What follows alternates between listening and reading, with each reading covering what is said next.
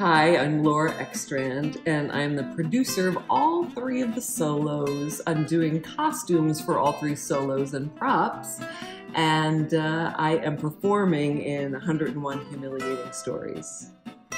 Hi, I am Scott McGowan. I am an actor, and I am playing eight different roles. I'm Clark Carmichael, and I play Harry Clarke and Philip Brugglestein and all of the parts in Harry Clarke.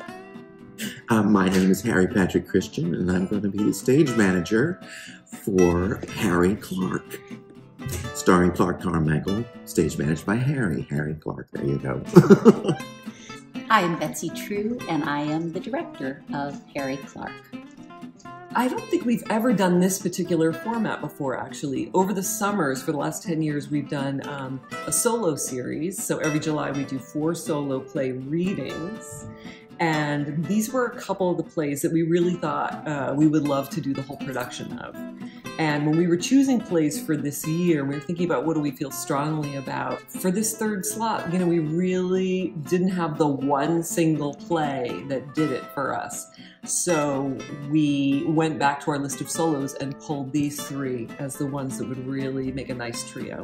Everybody is on a fast track uh, but having to be collaborative and generous, um, you know, kind of as we move in and out of the space and tech and all of these kinds of things. Company here, the designers here uh, that work with Vivid Stage and that are part of the, the fiber of Vivid Stage are generous uh, people. And so uh, if we had to be on a fast track, I'm happy we're on it together. Such a tour de force for all of us, all three of us as actors. And you've seen us do all sorts of incredible works over the years, but this, I think, is a pinnacle for, for all of us to be on stage without anybody else to uh, bounce off of and to rely on your own your own teachings and your own uh, uh, art that you've you've worked on for years. And I think for the audience to to see all of that and be entertained and engrossed for 75 to 90 minutes for all of us to be in that world with us. I think it's an amazing thing for the audience to see that and for us to also, it's exciting for us to be able to do something for the absolute brightness of Leonard Pelkey, we're having a Pride night on the opening night, Thursday, the 20th, because we would like to have a little opportunity to celebrate with the community uh, at least once throughout that run. Beer manufacturer, I think, is bringing in uh, some alcohol, which is always good before a show, um, to get you loosened up and in the mood for something fun, um, but also sad and heartwarming. Um, but uh, hopefully, we'll get some people to come to this uh, event and uh, support theater at the same time. There's something fun for the audience about showing up every weekend and seeing something completely different because it is so intimate to have an actor just talk directly to you. And, and I think all three plays have different tones, they're very different experiences, and of course, three of us are very different actors. So I'm hoping that if seen all together, um, it'll paint this really interesting picture. Um, but of course, each one of them stands alone. So if you can only make it to one of them, each one is a full experience.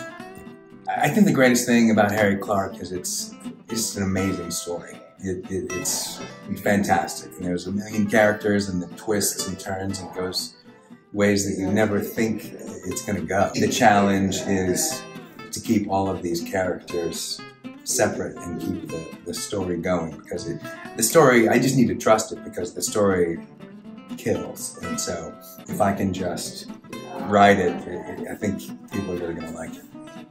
Clark is a remarkable actor who is playing 19 different characters in this play. He is absolutely glorious uh, and working so hard to make each character come to life. What I'm most excited about? Um, well, to, to do it. Uh, in some ways, uh, I'm living the part with Clark. I'm not playing the role, but I'm running lights and sound and following along in the book. So every line that he says, I'm mentally there with him. Since Clark and I are, are longtime friends, I think it'll be really a lot of fun, and just got to play one of the characters he's playing with him and doing the dance with him, which was a lot of fun. So this process is fascinating. I'm excited for them to just see me run around and act like a fool. Um, I think that often I, I, am cast and I cast myself as someone who's kind of serious, kind of has it all together, you know, is very kind of orderly. And, and that's kind of, you know, in some ways who I am in life. But there's also this other part of me that I get to display in this show, which is just kind of goofy and like lots of running around and lots of characters and voices. And so I am looking forward to being able to just play out there for this show. Come see 101 Humiliating Stories. Come see the absolute brightness of Leonard Pelkey. Come see Harry Clarke.